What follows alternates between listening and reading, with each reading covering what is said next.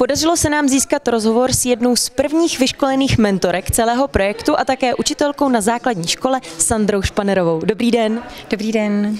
Mě by zajímalo, jak vůbec vznikla ta idea přihlásit se do takového programu. Co byla nějaká motivace? Přišel nám e-mail. Naše škola se totiž přihlásila nově do programu DOFE a v rámci tohoto programu chodí spousta e-mailů, co se v DOFE nového děje a jeden z těch e-mailů byl prostě informační, že se spouští tenhle program. A protože na naší škole eh, je poměrně dost ukrajinských žáků, eh, tak eh, jsme se rozhodli prostě do toho programu jít, nebo minimálně vyzkoušet to školení, zjistit, o čem ten program je, jestli bychom ho mohli do, té, do toho jako do té školního prostředí nějakým způsobem zaintegrovat, nebo ne. A líbí se nám teda, musím říct. Jak dlouho trvalo to školení? Bylo online a trvalo 4 hodiny odpoledne, takže to šlo. takže velmi přínosné pro jinak náročnou práci pedagoga. Um, jak bude ten program probíhat vlastně teď, případně jestli už ho máte implementovaný do školy? Jo, to školení bylo minulý týden, takže jsme to ještě úplně nestihli implementovat, ale bude to probíhat teď následně tak, že my dostáváme eh, metodiku, já se ještě potkám s paní metodičkou z DOFE a budeme se snažit nějakým způsobem udělat nábor, což jsou ty první kroky k tomu, aby jsme mohli ten eh, program ve školách spustit. Takže najdeme nábor, najdeme ty ukrajinské děti, které by se týkalo, najdeme hlavně české děti, které by se chtěly do toho programu zapojit a protože oni si můžou plnit eh, dobrovolnictví v DOFE zároveň s tím, tak si myslím, že to asi zvládneme. Zvládneme najít ty zájemce, no a potom už eh, budeme plnit vlastně podle té metodiky, přesně budeme postupovat, takže budeme mít nějaké společné aktivity, pak proběhne rozdělení těch dětí do dvojic a na základě pak ty dvojice začnou spolu zase pracovat. A zase na základě ale nějakého, eh, nějakého plánu, který dostanou. Ten eh, projekt vlastně trvá zhruba dva měsíce. Je to vhodná doba takhle do těch základních škol, tak aby to nezasahovalo do té výuky, případně i vám to nepřidávalo spoustu práce navíc?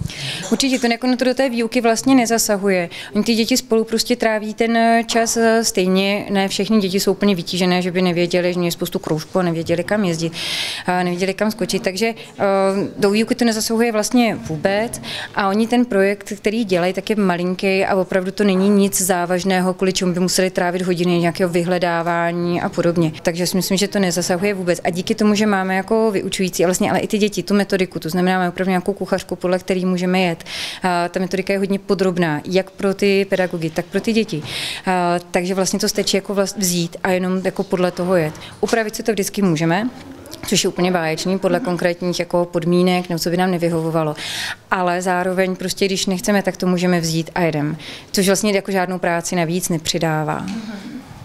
A mě by ještě zajímalo, jak jste vy sama jako učitelka, která má zkušenost eh, s dětmi tohoto věku, spokojená s tou formou toho body programu? Ta forma je právě báječná, protože děti tohohle toho věku úplně nejsou, ne, že by nechtěli pomáhat, ale oni spíš neví, jak na to. A taky ten, ten věk tomu úplně tolik nenahrává, spoustu věcí je prostě trapných, ať se děje, co se děje. A, ale tenhle ten program se prostě netváří úplně jako záchraně. On se tváří jako zajímavý program, který má za sebou velký mezinárodní jako podporovatele, jako je UNICEF, jako je DOFE, což jsou věci, které ty děti přece jenom trochu slyší, takže jako je takový prestižní. A, a to už jako je zajímavý, to za stolik trapný není. A hlavně opravdu uh, ty děti pomá, jako nepomáhají si úplně tak jako primárně. Spíš je to o tom, že spolu jdou strávit nějaký čas. Dostanou za to certifikát, nahrávají si do aplikace, jak se jim to daří, takže je to pro ně i takový interaktivní. Vidí tam ten výsledek, není to, tak, není to jenom o tom, jakože, jak jsem se potkal, tak dobrý, ale jako my vidíme, jak se potkali, co dělali, já je potkám, řeknu, tak tohleto setkání bylo dobrý, tak tady vám vyšel prostě krásný fotky jste udělali. Je to prostě to mnohem, jak je to interaktivnější, je to mnohem více, to dá vlastně sledovat, co ty děti dělají konkrétně. Oni to vidí, je tam víc zpětní vazby. Je vidět, že těch výhod pro ty studenty, jak pro ty české, tak pro ukrajinské je hodně. Přináší tento program nějaké výhody i pro vás, jako pro učitelku? Určitě, oni ty děti, když budou prostě uh, víc v pohodě v té škole a budou tam vždycky mít někoho, s kým si můžou povídat, protože už toho člověka znají přece jenom trošku víc, uh, tak je tam příjemnější prostředí. A v prostředí, kde se děti cítí bezpečně a cítí se dobře, se prostě báječně učí.